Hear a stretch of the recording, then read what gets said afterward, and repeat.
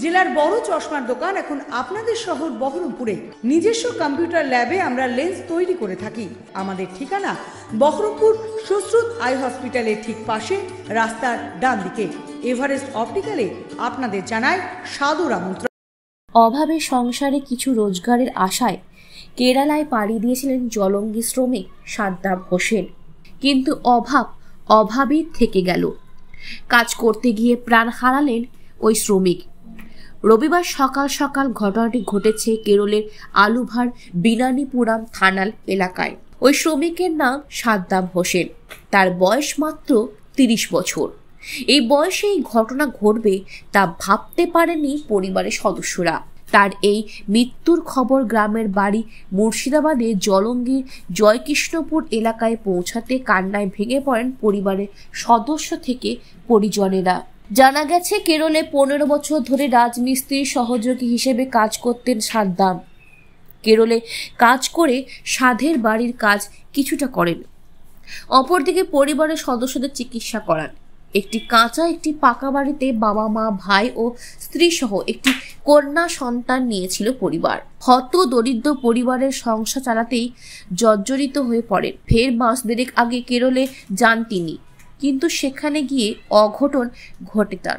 জানা গেছে, শনিবার রাতে তার স্ত্রী সাথে ফোনে কথাও হয়। পরের দিন সকালে খবর আসে বুকে ব্যথা। তার কিছুক্ষণ পর মৃত্যুর খবর আসে বাড়িতে। তারপরে কান্নায় ভেঙে পড়ে পরিবারের লোকজন। এখন নিজ খরচাতেই বাড়ি ফিরছে ওই শ্রমিকের দেহ। তবে স্থানীয় থেকে পরিবারের লোকজন চাইছে পরিবারের পাক সরকারি সহযোগিতা। ফোন করেছিল দিন ফোন করে কথা বলল কি করছ? আমি বলল নামাজ পড়ছি। এখন আমার নামাজ শেষ হয়নি। নামাজ শেষ হওয়ার পরে যিনি ফোনটা নিল আব্বু কি করছ? বলল বাড়ি আসো। বলছে বাড়ি আসব গো মা আসছি ও আল্লাহ। আর কোনো কথা হয়নি এই কথা। কবে শরীর শরীর খারাপ করছে একটা সময় থেকে পানিতে ভিজেছি। পানিতে ভিজে শরীরটা খারাপ করছে আমরা তাড়াতাড়ি ঘুমাও তাহলে খাই দেই। যে আর কোনো কথা হয়নি এই কথা। দিয়ে রাখি দিতে ফোন। ও আল্লাহ আর কোনো কথা হয়নি কখন খবর পেলেন এরকম ঘটনার? সকালে আজ সকালে? আজকে সকালে। কীভাবে মারা গেছে জানলেন? বলছে হার্ট অ্যাটাক করে মারা বডি তো সব বিভিন্নভাবে যোগাযোগ করা হয়েছে নিজেদের। এখন পর্যন্ত যেটা জানা যাচ্ছে যে নিজেদের খরচাতেই বডি আনার ব্যবস্থা হচ্ছে।